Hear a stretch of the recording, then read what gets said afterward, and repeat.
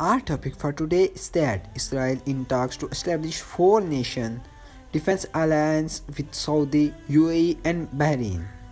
Before I start, please subscribe to my channel and must give your opinion in the comment section below. And watch this video till the end to get complete information about today's topic. Jerusalem is currently in talks with the Kingdom of Saudi Arabia, Bahrain and the United Arab Emirates.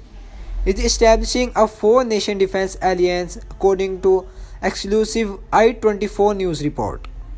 While Jerusalem does not have official diplomatic relations with Riyadh, foreign media report that the two countries have long-standing clandestine ties.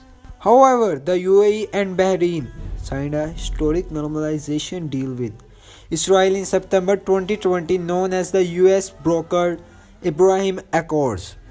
The reported defense alliance talks likely come into response the growing Iranian threat in the region, specifically regarding its budding nuclear program, along with its expanding influence in the Middle East with countries like Syria and Iraq. News of the reported talks come as the newly Biden administration sent signal to Tehran and world power that it is ready to rejoin the 2015 Iranian nuclear deal brokered by former President Barack Obama which Israel's Prime Minister Benjamin Netanyahu vehemently opposed at the time. Thanks for watching this video and give your comment below.